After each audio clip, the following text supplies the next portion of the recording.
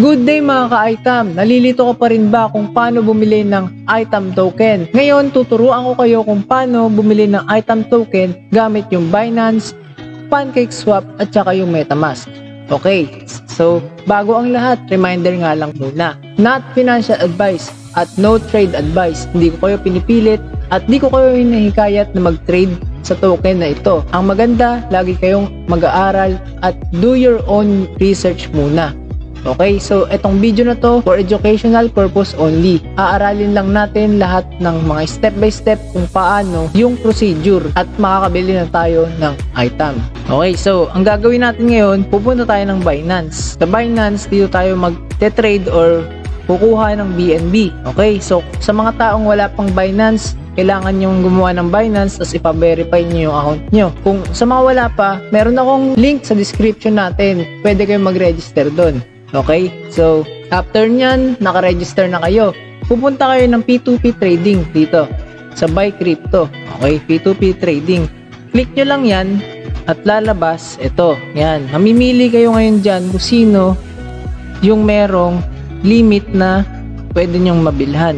Yung pinaka-minimum nila. Tulad nito, 150k.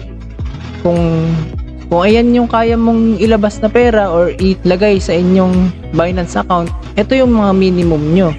So, halimbawa, ito yung presyo na gusto nyo. Yan, mag-buy lang kayo. Tapos ilagay nyo 150,000. So, ang marireceive nyo dito ay 2962 dollars. So, halimbawa, nag-place order ka na. Lalabas dito sa information na Union Bank Philippines yung account niya. So, dito kayo magbabayad sa kanya. Tapos, ito, kakausapin nyo siya at dito na kayo magta-transaction. Okay? So, ngayon, cancel lang muna tayo. Yan. So, once nakapag-deposit na kayo sa inyong Binance account, mapupunta sa P2P yung inyong USDT. Yan. So, dito nyo makikita yung pera o yung USDT na nilagay nyo. O, paano naman makukuha yan at malipat sa fiat and spot? Ngayon pupunta tayo sa fiat and spot at ita-transfer natin. Ito, i-click mo yung transfer. Yan. Tapos P2P.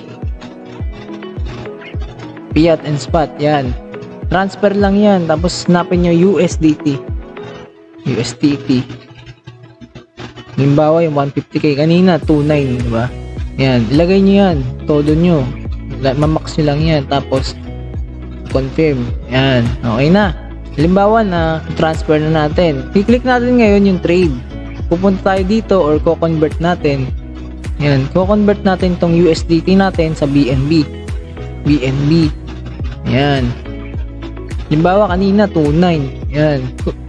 Ko-convert nyo lang siya. Okay, so once na na-convert nyo siya, pupunta tayo ngayon ng fiat and spot ulit. Tapos, hanapin yung BNB. Ito, BNB. Withdraw. Click withdraw. Yan. So, dito, kiklik BSC or Binance Smart Chain. Ito. Okay, so pupunta tayo ngayon sa MetaMask natin. Yan. So, ito yung MetaMask natin.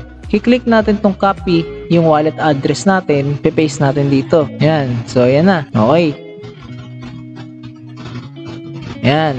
I-click nyo ngayon yung amount na gusto nyong ilipat sa inyong MetaMask. Halimbawa, tapos na, nalipat nyo na. Papuntang MetaMask. Yan. Kinonfirm nyo lang yan. Pupuntang MetaMask yan. Tapos, dito magre-reflect ngayon yung BNB na nilagay nyo. Okay, so ngayon, after nya, nandito na ngayon sa MetaMask yung pera nyo na BNB galing sa Binance. Pupunta naman kayo ngayon sa PancakeSwap. Dito, sa may exchange, ko-connect nyo yung MetaMask nyo. Ayan. So, na-connect na. Yung balance na meron tayo ngayon sa MetaMask natin, ayan, i-convert natin ngayon sa item. Ayan, yung item. Tayin lang natin. So, ngayon, yan, swap natin, confirm lang ulit. Kasi, ayan, i-confirm nyo ulit yan. May lalabas na MetaMask dyan, tapos i-confirm nyo lang. So, ayun na guys, okay na. Ngayon, pwede na kayong bumili ng NFT sa Lime Odyssey. Ayan, pwede na kayong makabili ko-connect nyo lang din yung MetaMask nyo dito sa nft.farm. Ayan. Ngayon, naabangan natin tong 1 day, 6 hours, and 5 minutes sa antayin natin yan para sa NFT sale. Yan. Kailangan natin yan umabot dyan para makabili tayo ng worth $30 na NFT package. Yan, pre-sale. So yun guys, maraming salamat at I hope na may natutunan kayo sa video na ito. At sa susunod na video, subukan natin mag-participate sa pre-sale ng Lime Odyssey. Gagawa rin ako ng video, papakita ko sa inyo kung paano naman tayo bibili ng NFT package at kung ano yung makukuha natin doon. So sana talaga makaabot tayo sa 2,000 NFT sale na yan. Kasi paunahan tayo doon. Panigurado, sobrang daming taong bibili ng package na ito. Kasi naniniwala sila na magkakabalue yung NFTs na makukuha nila dito sa package na ito kaya bibili sila ngayon habang mura pa lang. Kasi sa susunod, pagka na- na-release na yung game na to, pwede natin maibenta yung NFT na nabili natin sa halagang $30. Pwede siya maging $100, $200, depende sa rarity na makukuha. Kung SS yung armor na makuha nyo, panigurado, mas mahal yun. Okay? Sobrang sulit nun. Kasi $30 mo lang siya nabili, pwede mong mabenta ng $100 or $200 pa yan. Okay? Para sa mga information pa na gusto nyo matutunan, may mga tanong pa kayo, pwedeng pwede kayong sumali sa Telegram group ng Item PH. Yun lang guys, maraming salamat, like, share, and subscribe para sa mga susunod na update natin. See you sa susunod na video.